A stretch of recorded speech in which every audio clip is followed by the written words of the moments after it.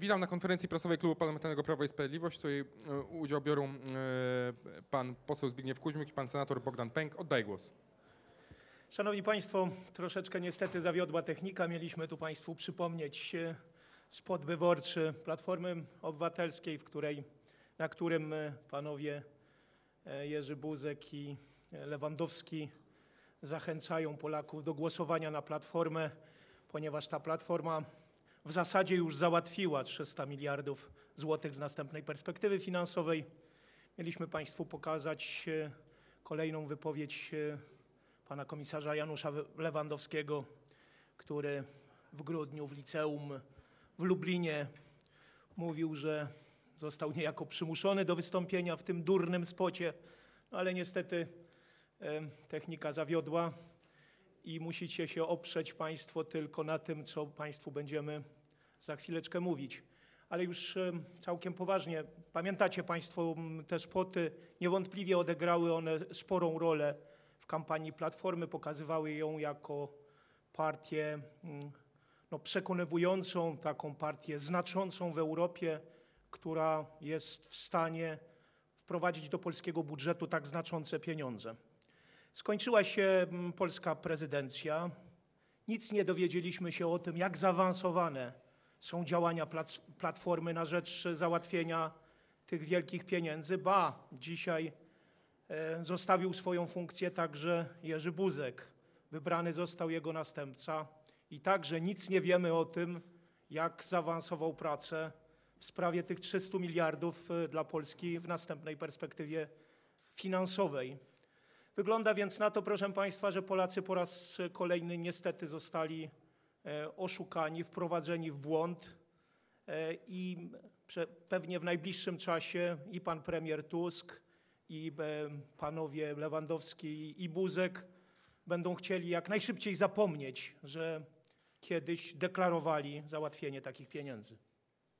Proszę Państwa, spotykamy się z Państwem, żeby także Was prosić o wsparcie, bowiem postanowiliśmy y, z doktorem Kuźmiukiem założyć we dwójkę szczególną agencję ratingową.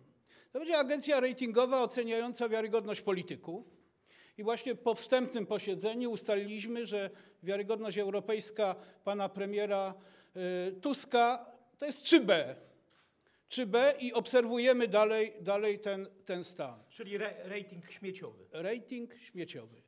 Proszę Państwa, to nie są żarty, bowiem e, te 300 miliardów e, eksponowane w czasie kampanii wyborczej przez najbardziej wiarygodnych przedstawicieli Platformy, najwyższych urzędników europejskich miało ogromny wpływ na wynik wyborów. To, nie ma e, co do tego dwóch zdań.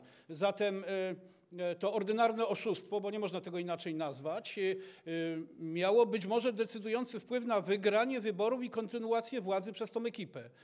Myślę, że mm, we współczesnej rzeczywistości, gdzie prawda przebija się z trudem, jest to, jest to informacja, która i pytanie, które powinno być zadawane panu premierowi co jakiś czas. Panie premierze, gdzie, gdzie te 300 miliardów? Czekamy, aż pan premier nam pokaże, wypowie się, bo na razie słyszymy tylko o tym, że perspektywa budżetowa na lata 2014-2020 będzie obniżona o co najmniej 120 miliardów euro że pieniądze z funduszy strukturalnych będą przesunięte na tworzenie miejsc pracy w krajach zagrożonych y, upadłością, a więc Hiszpanii, Włoszech, Grecji, Portugalii itd., itd., że będą obcięte również pieniądze na y, fundusze rolne, co w oczywisty sposób y, uderzy w Polskę. Tyle mamy Państwu do przekazania z życzeniami wszystkiego najlepszego. Proszę Państwa, jest jeszcze jedna ważna rzecz. Jak Państwo wiedzą, te przewodnictwa unijne to są takie przewodnictwa trójkowe. Polskie przewodnictwo było realizowane razem z, przy, przy, przy współpracy Danii i Cypru. Dania właśnie w tej chwili jest przewodniczącym Rady Unii Europejskiej i tego też nie dowiedzieliśmy się od pana premiera, że w e, ramach przewodnictwa duńskiego wykreślone są w ogóle jakiekolwiek negocjacje dotyczące perspektywy finansowej na lata 2014-2020. A przecież jako kraj współpracujący z Danią, kraj, który, e, któremu e, przekazaliśmy nasze przewodnictwo, mieliśmy wpływ na to, co Duńczycy będą robili właśnie w trwającym półroczu.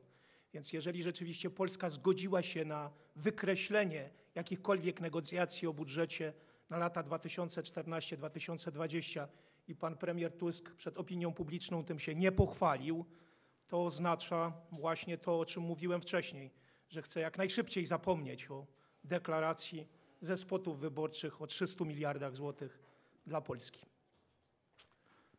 Dziękuję. Prosimy o pytania. Jeżeli nie ma pytań, dziękujemy bardzo. Dziękujemy Państwu bardzo.